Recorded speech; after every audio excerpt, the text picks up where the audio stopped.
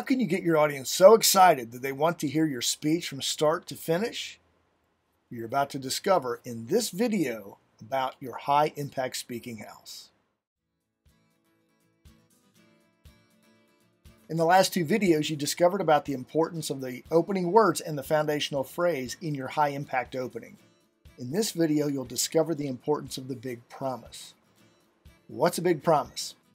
It's one or two sentences that tells each audience member what they'll receive by listening to your speech.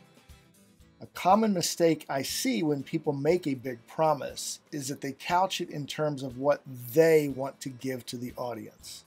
They'll say something like, In the next 45 minutes, I'm going to give you, or I want you to walk away with. But this sounds like a subtle, nitpicky idea, but it's important. Don't couch it in what you want because the audience doesn't care what you want. At a subconscious level, they're thinking, I don't care what you want, what are you giving me?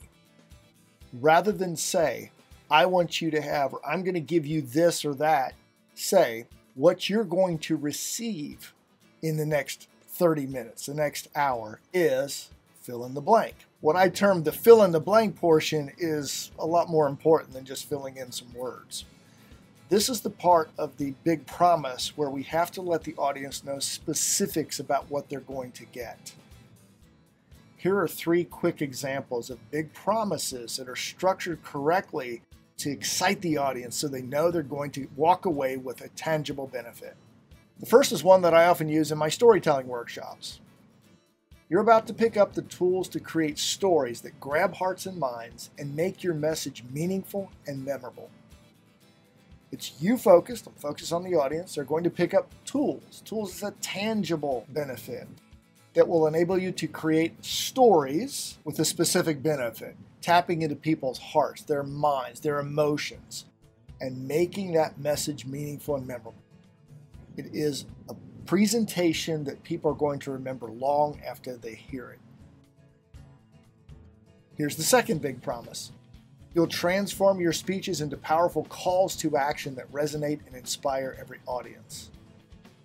Talking about transforming a speech from something that's forgettable into a message that is so powerful that people will take action on it and be inspired by it after you speak.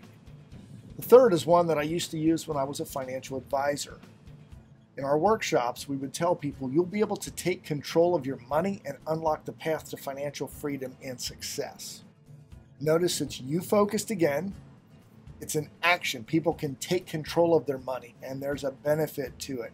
Unlock financial freedom and success, which is what many people want. You'll notice in each of these, we're not overly specific. In Big Promise 3, for example, we talk about financial freedom and success. The reason we don't want to get overly specific is because every person has their own definition of financial freedom and success. It's a concept that's positive, it's an improvement over where they currently are. However, we don't want to get overly specific because if we do, we might push them out of uh, our message. A quick example if I say to them, we're going to make sure that you have $20,000 a month of income for the rest of your life when you retire. Well, what happens if that's five times more than somebody wants? Or it's a tenth of what somebody wants? This is not the place to get overly specific, but make sure it is a positive benefit that most people strive for.